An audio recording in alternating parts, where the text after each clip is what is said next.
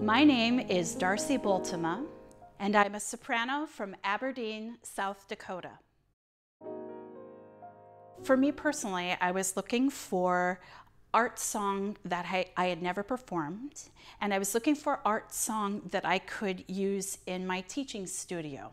Um, for me, per, for me, I had not studied Spanish literature or Latin American song, or much less Catalan, and coming to this festival allowed me to explore these new, this new repertoire. Well, uh, my experience here at the festival has been amazing.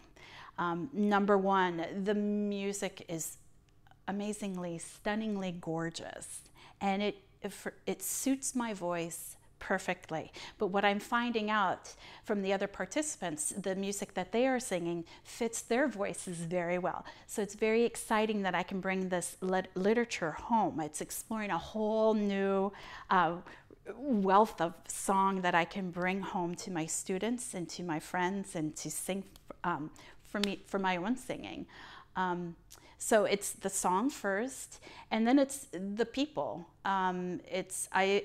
This is a great place for me to try these these new languages in a very supportive, kind environment and Patricia is, um, I like to call her the queen of Latin American um, and Iberian Spanish song. She's such an inspiration.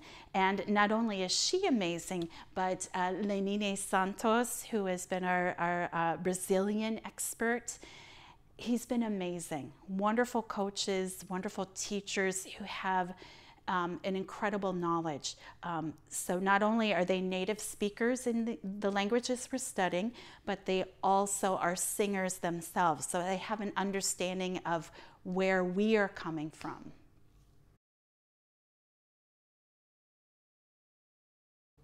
I would recommend this festival if you uh, love art song and uh, want to explore some new and exciting repertoire. I would recommend this festival if you are a, um, a, a, teacher of song, of teacher of students, and want to introduce new song to your students. Um, and it, I mean, you can't find a better environment than Barcelona. It's a beautiful city, and I'm loving every minute here.